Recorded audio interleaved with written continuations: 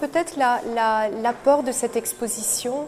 euh, ou disons l'approche un peu, un peu nouvelle euh, dell'opera di Balthus. Per quanto riguarda l'apporto particolare di questa mostra dell'opera di Balthus risiede nel taglio che ho cercato di dargli tentando di focalizzare l'attenzione sul procedimento creativo di Balthus. Ad esempio vi sono vari disegni, vari libri e altri generi di fonti, per cui mi sono concentrata in particolare il modo proprio nel quale lui si concentrava sulla questione della pittura e quindi sulla fabbricazione vera e propria dell'opera d'arte,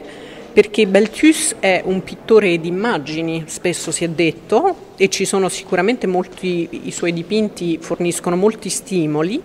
però per quanto riguarda il taglio che ho voluto dare a questa mostra, ho voluto proprio mostrare l'iter artistico di questo pittore e come evolve anche la sua tecnica pittorica nel corso degli anni, perché Balthus lavora sulla sua tecnica in base anche alla sua rappresentazione della realtà, che è sempre una rappresentazione mentale a confronto con un'immagine. Ad esempio nel caso del quadro Les Enfants Blanchard è un'opera di un realismo molto secco e molto freddo, lui aveva dipinto direttamente su un asse di legno con pochissima pittura e questo era proprio per rappresentare questa, questo effetto specifico. Invece in seguito ha sperimentato ad esempio col gesso facendo delle lavorazioni in gesso e i suoi quadri, le sue opere sono poi diventate quindi molto più materiali, rappresentando quindi non solo un'immagine ma anche uno spazio, per cui avendo un impatto materico più forte.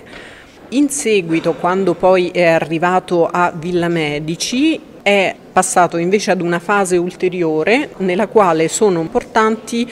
il modello, il modello sottinteso come fotografie, come queste Polaroid, a un certo punto creava dei quadri che erano quasi simili a dei disegni del XVII secolo e proprio qui a Villa Medici, in veste di direttore dell'Accademia di Francia, si è interrogato sull'accademismo, su che cosa volesse dire essere un pittore accademico, però l'ha fatto dando un taglio contemporaneo a questo accademismo, ad esempio attraverso l'impiego di queste Polaroid, che comunque avevano dei colori molto acidi, per cui questa diciamo, acidità, fra virgolette, si ritrova anche nella sua pittura